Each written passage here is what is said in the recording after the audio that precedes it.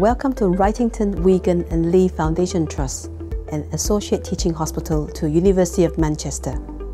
I'm Dr. Ansi Lee, your undergraduate lead tutor in Wigan.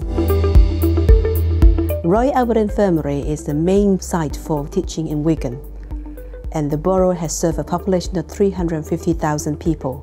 In Wigan, we have 450 beds, and we cover the specialties of emergency medicine, acute medicine, cardiology, respiratory, endocrinology, gastroenterology.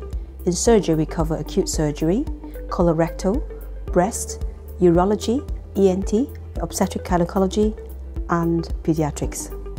Apart from that, we have dermatology, obstetric and gynecology and respiratory clinics in Leigh Infirmary, orthopedics in Wrightington Hospital, and urology clinic in Thomas Linacre Centre. All three sites are linked with shuttle bus.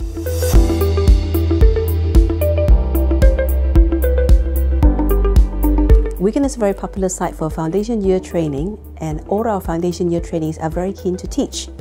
We found that a lot of University of Manchester students after graduation return to work with us and they enjoy the experience.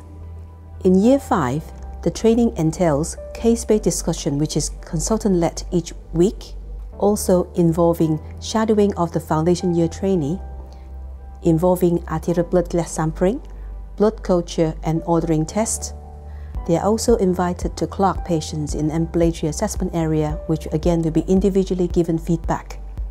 In Year 3 and Year 4 training, it entails consultant-led bedside teaching, attendance at ward rounds, attendance at clinics, designated tutors for problem-based learning, and as well as an opportunity to be on call with the medical team.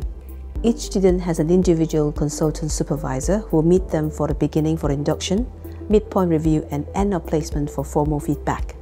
We have state-of-the-art facilities for teaching in education centre, which includes a lecture theatre, clinical skill lab, rest area and a 24-hour access and library. All this is just next to the main site of hospital.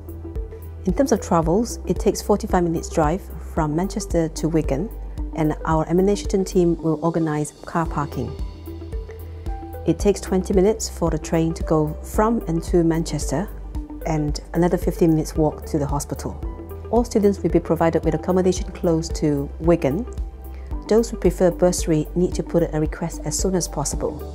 In summary, there are great opportunities of learning with very enthusiastic teachers, both juniors and seniors, to teach you, and a very dedicated educational team. We have received as high as 95% satisfaction score from students prior. Lastly, there is a vast selection and good case mix of patients for learning.